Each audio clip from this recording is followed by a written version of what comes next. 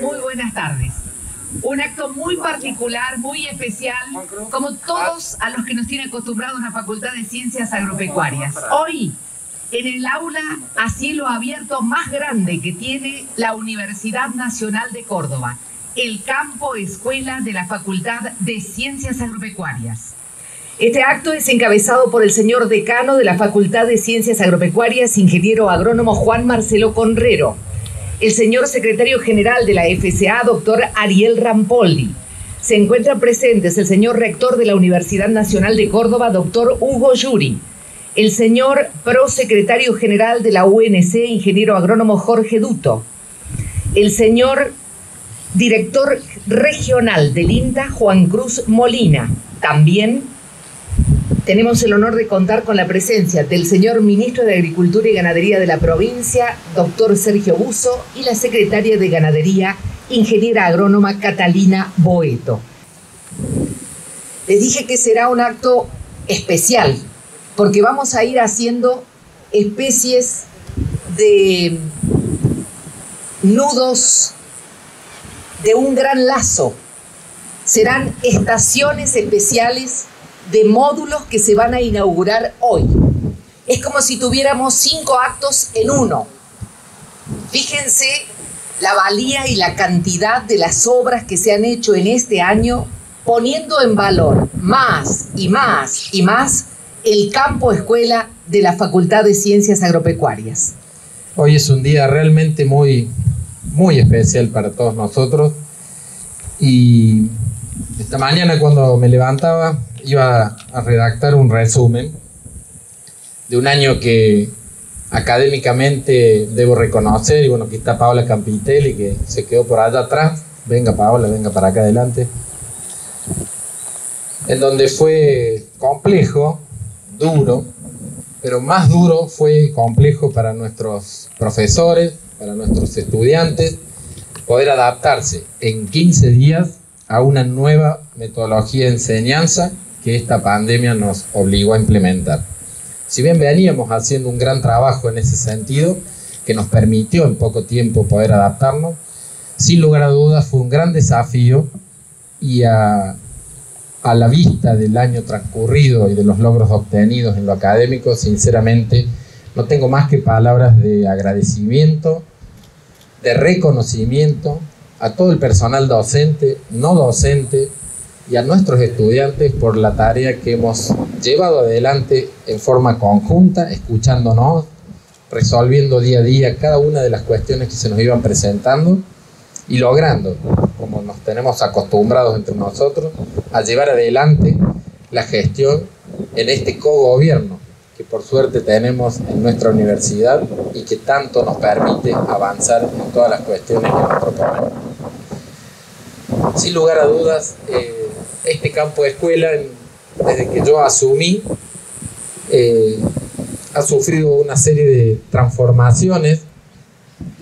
Con solo decir que el 4 de julio del 2014, cuando asumimos, estaba arrendado la parte agrícola, estaba tercerizado nuestro campo de escuela y la verdad que tenía un, abandono eh, por falta de presupuesto, no de acciones, sino de presupuesto, y que rápidamente, en su momento, iniciando con Carlos Álvarez, lo estoy viendo aquí, que me acompañó en la primera parte de mi gestión, pudimos comenzar a, a virar, a transformar en lo que nosotros creíamos que teníamos que tener, que era un campo verdaderamente activo.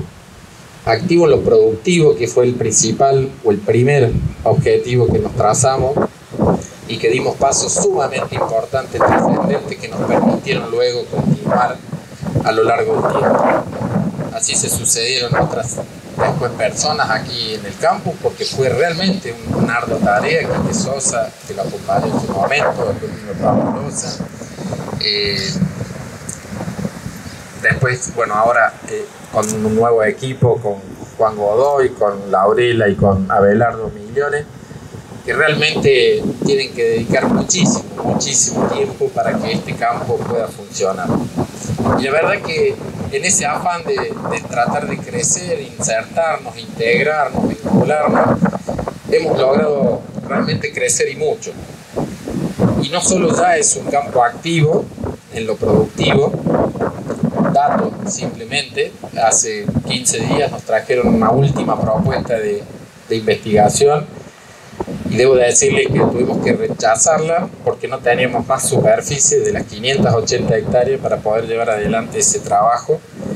Y la verdad que nos sentimos mal por un lado, pero después nos pusimos a razonar y dijimos, miren a dónde hemos llegado, que hoy ni siquiera podemos absorber todas las propuestas de trabajo conjunto con el sector privado, con el sector gubernamental, porque lo hacemos eso, lo hacemos juntos.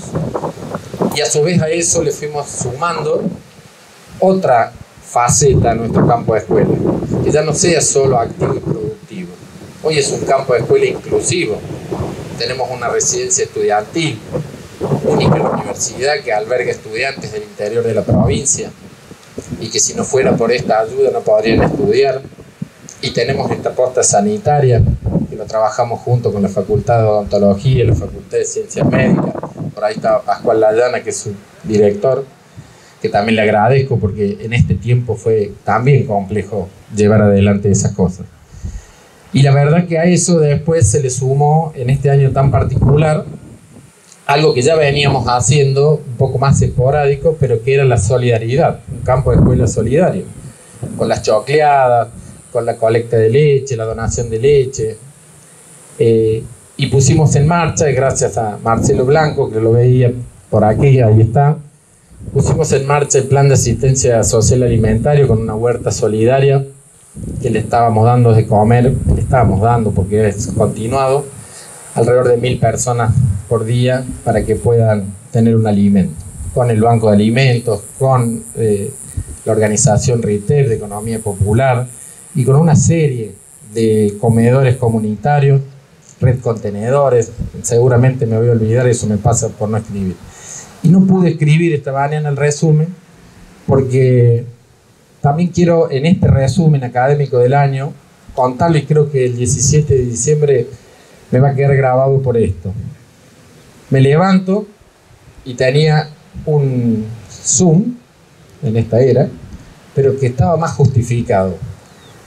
Hace tiempo venimos trabajando con Verónica Aymán como jefa de un grupo de investigación en lo que es bienestar animal.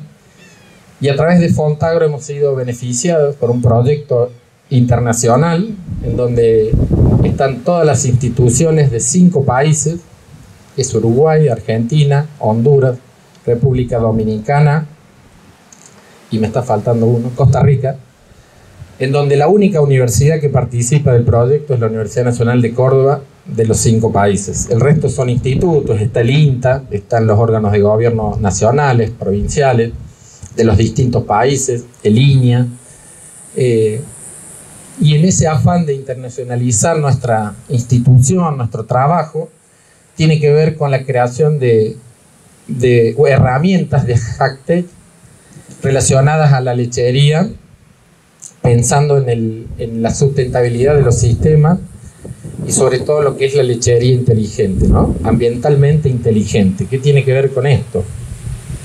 Que en el 2050 vamos a tener un incremento en la necesidad de proteína animal de alrededor del 70% y que la única forma de subsanar esa falencia o ese faltante para nuestra sociedad es producir más a través de la producción animal. Eso implica emisiones de gases de efecto invernadero y este trabajo lo que va a hacer y nuestro tambo de escuela va a estar incluido es en la determinación, en la investigación y en la prueba de herramientas para armar aplicaciones, para poder medir y para poder colaborar con la mitigación de los gases de efecto invernadero.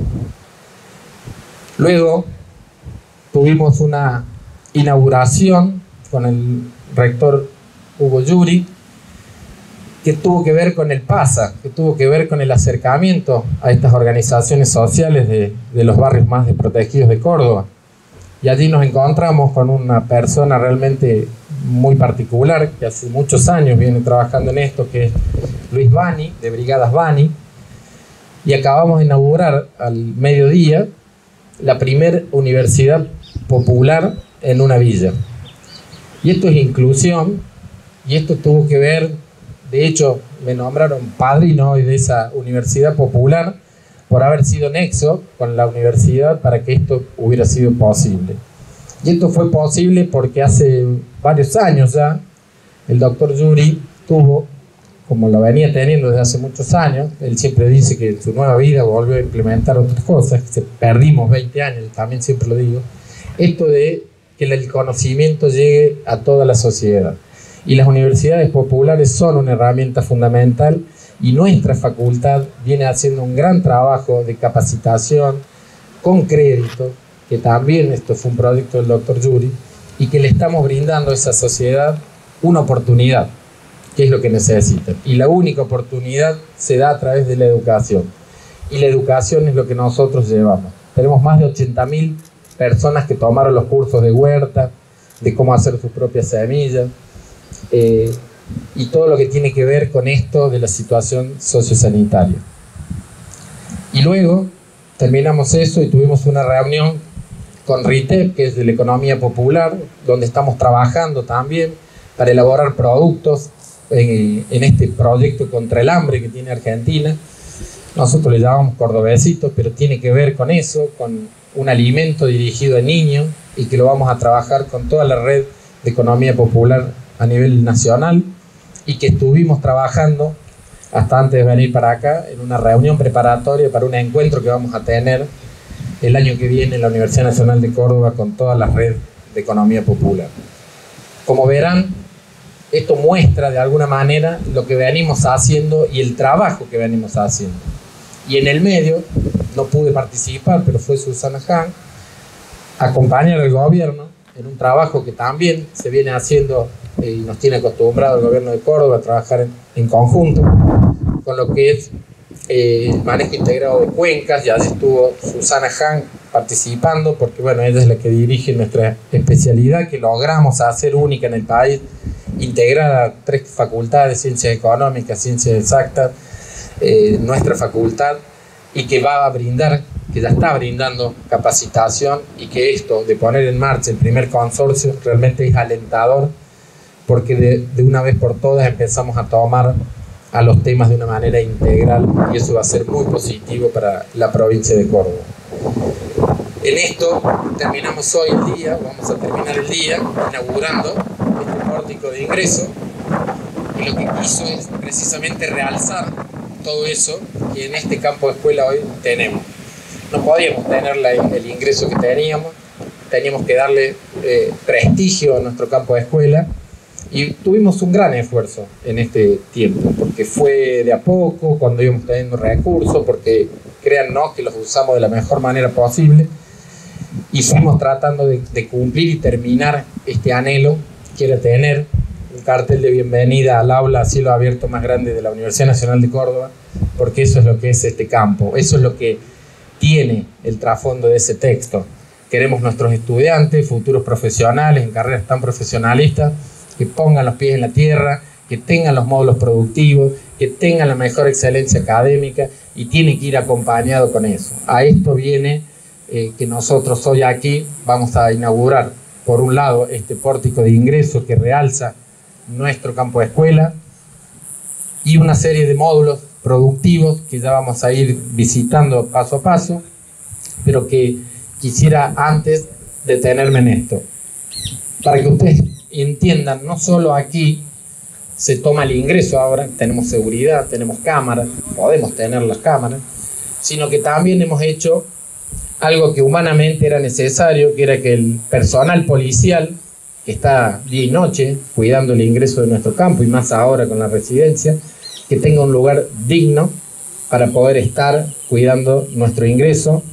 Y la verdad que también eh, esto es un poco dedicado a ellos en parte, porque una parte es la vista y otra parte es la funcionalidad. Bueno, la funcionalidad es el control de ingreso, dándole una vista a nuestro campo de escuela como se lo merece. Un campo activo, un campo solidario y un campo inclusivo que está vinculado con todo el sector productivo y que a lo largo de la jornada ustedes podrán observar que todas y cada una de las acciones que llevamos adelante las hacemos en vinculación con la provincia de Córdoba, con las empresas privadas, con las cámaras, con las asociaciones, con las empresas privadas.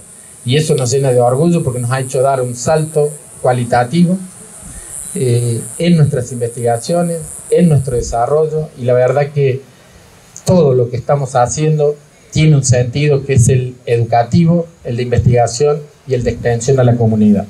Yo les quiero agradecer en este contexto que se hayan llegado aquí, porque sinceramente para nosotros hoy es un día muy especial, muy particular y les agradecemos de corazón que ustedes hayan venido a acompañarnos aquí. Muchísimas gracias. Simplemente es un momento de reflexión para todos nosotros, es un año, como dijo Marcelo, muy difícil, pero lo productivo, más allá de la pandemia, creo que por cuestiones esenciales el sector productivo, el sector agroalimentario, tuvo un enorme compromiso porque tuvo que generar los recursos para darle sobre todo de comer al resto de la sociedad argentina, porque en plena cuarentena, los primeros meses, por decirlo de alguna manera, realmente con una sociedad que estaba paralizada, el sector productivo tuvo que funcionar, las cadenas de valor tuvieron que garantizar para que no faltaran los alimentos en la mesa de los argentinos, y así fue. Y sobre todo también para generar los recursos que el país necesitaba, toda la cadena de comercialización, sobre todo vinculada al comercio exterior, había que garantizarlo y por eso obviamente se hizo dificultoso porque había que generar los protocolos, no solamente los protocolos de la producción, sino también en todas las cadenas de valor. Y se fueron armando, obviamente con muchas dificultades, porque las provincias iban cerrando y había que, tratar de, de tener decisiones inteligentes y acordadas. Pero en eso siempre creo que es bueno este año rescatar la voluntad, el compromiso eh, del productor y la productora agropecuaria cordobesa y argentina. Me parece que estuvieron a la altura de las circunstancias, insisto, porque han generado más allá de las dificultades estos objetivos que el mismo gobierno nacional y eh, todos los gobiernos teníamos para garantizar, insisto, los objetivos que, que eran básicos para llevar adelante la necesidad de nuestro pueblo. Y después también creo que una de las cosas a rescatar, eh, escuchando a Marcelo, es lo que en Córdoba hemos instituido como una cuestión natural, un ADN propio. A veces, cuando uno escucha a hermanos, a colegas de otras provincias o a, o a gente de otras provincias, ve con cierta admiración lo que a nosotros nos ocurre, o con cierto asombro.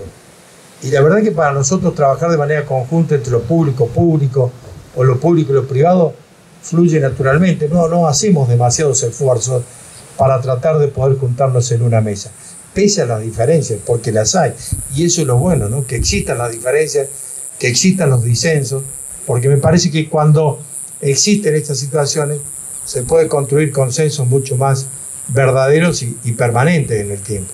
Esto que nosotros llamamos políticas públicas o políticas de Estado son fruto también de esa discusión y esos disensos y después terminan plasmadas en, normas que son las que le dan vida y más allá de quién gobierne, quién está al frente de una institución, perduran en el tiempo, eso es importante. Y creo que eso es lo que supimos construir. Por eso también creo que este año, más allá de las dificultades, estamos eh, contentos porque hemos consolidado este proceso de encuentro, este proceso de construir de manera conjunta. Recién Marcelo nombraba uno de los tantos que hemos trabajado, uno que, que a nosotros hoy ahí en Sinsacante realmente nos causó mucho placer este, presenciar una idea que se generó hace mucho tiempo y que se fue construyendo de abajo hacia arriba. Eso lo decía el gobernador hoy. Lo más importante es cuando las cosas no se imponen, no vienen de la autoridad, sino que nacen fruto de, de la petición, del esfuerzo y la construcción y de la participación de todos los sectores. Este modelo de gestión integrada de cuencas que seguramente se va a extender al resto de la provincia, es nada más ni nada menos que pensar que un territorio hay que definirlo desde hoy de una manera distinta.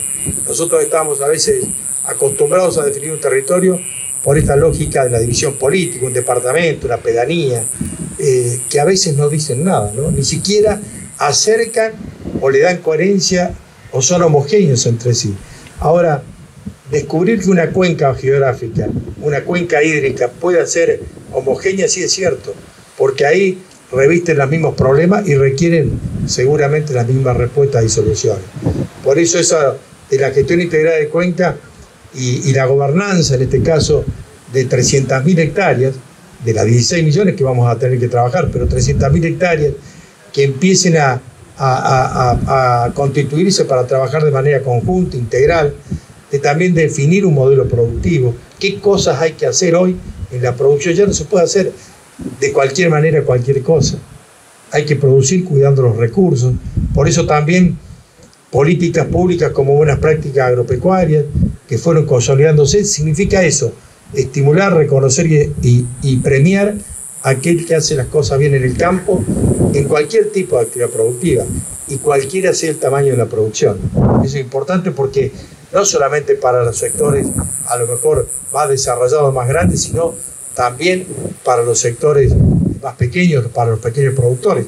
Cuando uno analiza quizás eh, buenas prácticas agropecuarias, la última eh, edición, por ejemplo, analiza quiénes son los que han validado, un tercio de esos productores pertenecen al movimiento de campesinos.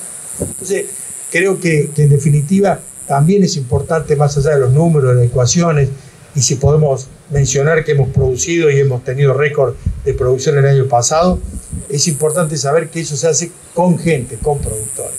Por eso que también el progreso hay que tratar, y creo que eh, vos lo decías Marcelo en tus palabras, de que sea inclusivo y que sea solidario. Hay herramientas obviamente que ayudan a que este progreso pueda llegar a todo el mundo, seguramente asociándose, por eso hay las cooperativas, los eh, grupos de cambio rural, los grupos CREA, todo ayuda para generar que este progreso, que a veces puede generarse en unos pocos, pueda también irradiarse al resto de la producción. Y en ese sentido, con la gestión integrada de cuencas, hemos trabajado mucho con, con la facultad y la universidad. Por eso que celebro que también esta gobernanza del territorio va a tener, va a contar profesionales formados por estas casas de estudio. Más de 60 eh, cordobeses y cordobesas se van a especializar para ser un poco los líderes que van a generar los procesos de formación. Y eso también nos resulta muy, muy grato y lo quiero reconocer porque es un trabajo muy fuerte que se ha hecho para validar esta, esta currícula y, realmente una vez que las tuvimos pudimos llevar adelante esta carrera de especialización. Y para no extenderme más y simplemente también para, para felicitarlo porque este es el acto de la facultad y la universidad y celebro que podamos terminar el año de esta manera, hay un tema que, que hoy un poco venimos nosotros también a cumplir una palabra empeñada y creo que poder cumplir lo prometido es, es bueno, es una buena noticia, eso es un poco lo que decía Rebeca. Eh, lo más difícil es la confianza preservar. Y a veces uno habla, y sobre todo en la política, y cuando no se cumple lo prometido, ahí se desvirtúan o se van las palabras. En este sentido, más allá de las dificultades de este año y también de las restricciones presupuestarias, hay un tema que nos pareció con Tati eh, muy oportuno. Eh, Córdoba es importante desde el punto de vista ganadero y sobre todo nuestra ganadería bovina y sobre todo nuestros cabañeros. Eh, nosotros tenemos buena genética, la verdad que siempre cuando uno va a distintas exposiciones del país, sobre todo en Palermo, pero en otras que uno va, y también internacionalmente y en la región, se encuentra que hay cordobeses que son premiados por su buena genética. Y eso me parece que hay que preservarlo y sobre todo seguir trabajándolo y como decía Tati y Marcelo estaban trabajando en generar una estación de testeo acá en este campo.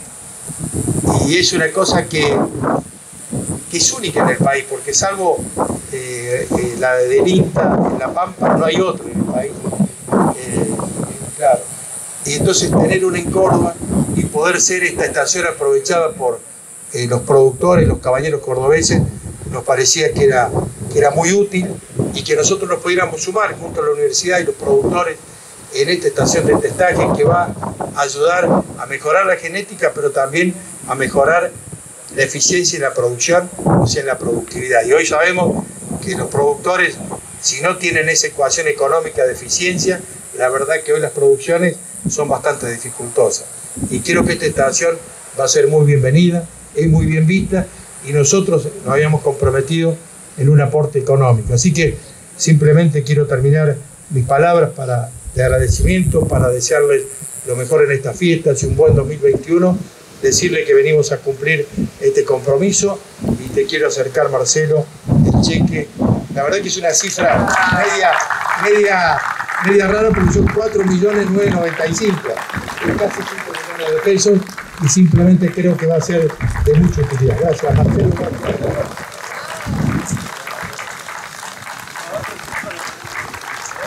Aprovechando la oportunidad, la presencia de las autoridades provinciales y universitarias, se firmará el comodato de cesión de la estación meteorológica a la Facultad de Ciencias Agropecuarias.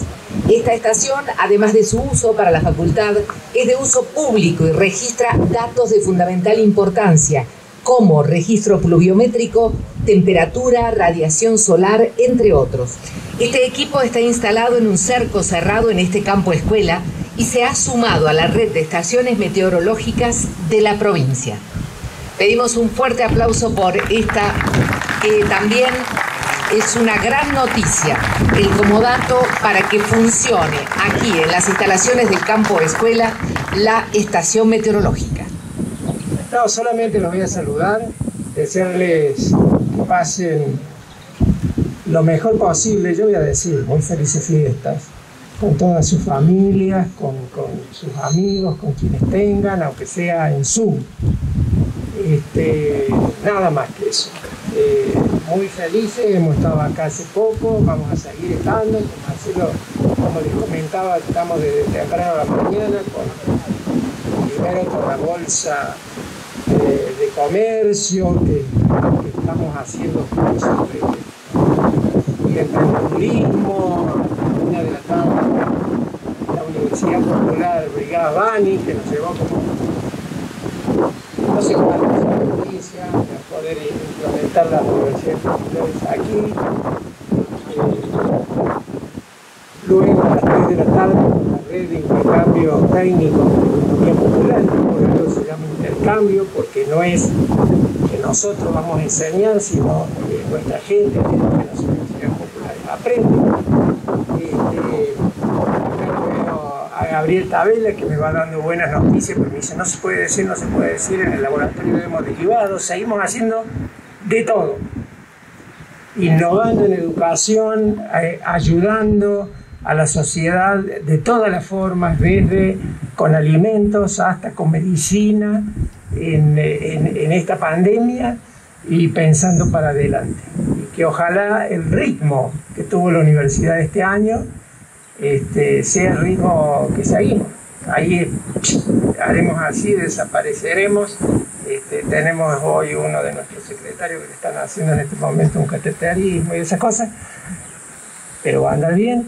Este, pero tenemos que, eh, además de lo que ha visto la sociedad de la, de la universidad, que no puede ver todas estas cosas que están haciendo acá, pero además hace dos semanas estaba haciendo otras cosas, este, pero sí la podemos ver desde adentro y ojalá nos estimulemos todos en la universidad para tener las herramientas que vamos a necesitar para acompañar a la sociedad en todo este tiempo. Recién decía el ministro Buzo el tema de las cuencas y sé que hay tres fuera de las divisiones que hay entre las pedanías, que nosotros, oh, si tenemos divisiones de pedanías en la universidad, este, las divisiones de pedanía tienen las divisiones también en la, eh, en el ministerio, porque creo que hay tres, tres eh, secretarías que tienen que ver con la cuenta, ¿no es cierto? Pero, pero esas tres secretarías se corresponden con tres carreras de la Universidad Nacional de Córdoba.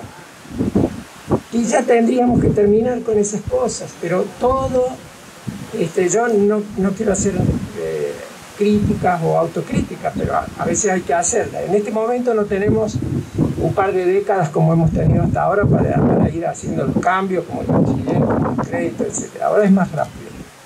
No quiere decir, como dice el ministro Buso, no hay que imponer las ideas. No es buena idea imponer una buena idea. Y para eso están las universidades, para eso está la diversidad de pensamiento, como dice, para discutir. Llega un momento que hay un límite, porque si no, este, ahí estuvimos en el CIN discutiendo cómo hacer para quienes no podían hacer la parte práctica, eh, de la carrera pudieran hacer algo alternativo y entonces que, se reunían con esto, que se reunían con lo otro y, se nos acababa el año. Así que esas cosas ya no se pueden hacer. En la universidad vamos a encontrarle algunas herramientas institucionales, por ejemplo un plebiscito, alguien toma la determinación después de que se haya discutido todo. Pero básicamente esto lo estoy agregando ahora. Lo único que quería es saludarlos, agradecerles por supuesto, gracias Rebeca, gracias este, Marcelo y todo el equipo. Me encanta la ganadería, eso lo sabe Jorgito Duto especialmente y también Marcelo por otras razones, pero Jorgito desde hace años que va a ser mi lugar en el mundo, apenas terminemos, así que voy a ir a verlo también y le voy a plagiar algunas cosas. Muchas gracias, feliz año quieren eh, entregar al señor decano una placa especial de agradecimiento desde el eh, Instituto de Hemoderivados. El ingeniero Gabriel Tabela, director ejecutivo, está presente aquí y trae esta placa de reconocimiento a la facultad.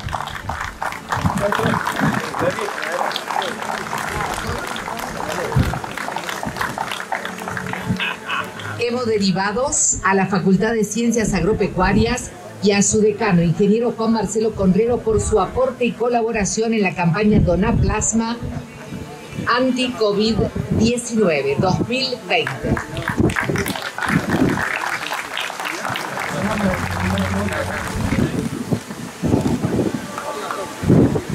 Invitamos a cortar las cintas en el portal de ingreso a la Facultad de Ciencias Agropecuarias.